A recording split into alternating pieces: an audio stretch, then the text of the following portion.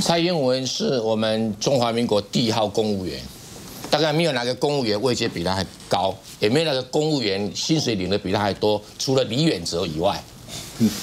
然后他讲的说，我不希望别人用一百天来评断我个人执政的成败。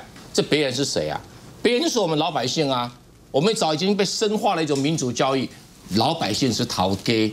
然后我不希望今天有一个新的说，我不希望我逃给用一百天来打我的成绩。哎，这一百天是什么？民间企业一般来讲，主要试用期间就三个月呀。我们是头家呀，我们是纳税人呢。你是领最多薪水的公务员呢，你怎么用这种态度？这个态度呢，套一句顾立雄的说法哦，就是什么殖民心态。哎，我们都是被殖民的，说我们没有权利讲话。他是殖民者，他是外来政权，所以他有权利讲话啊。说，哎呀，你们不可以用一百天来打我成绩啦。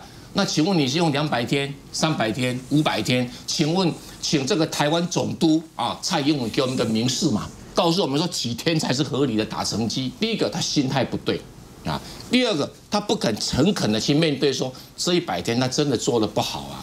你举一个例子，他做的好给我们听啊。他哪一件事情做了大家满意？我们不要说我们蓝。这个蓝领的满意哈，蓝领的本来就监督他嘛，不满意是天经地义的，会满意除了杨伟忠以外，那是怪咖嘛。所以回过头来，我们简单讲，就是说，连中间选民的民调里面都对他不满意啊，他中间选民不满意度都还比满意度高啊，那他有什么话讲啦？那第二个，他要客观的面对事实，他能力真的比柯文哲差不到哪里去嘛？哦，表现的结果如果大家看得出来嘛，不是人家故意要吐槽他。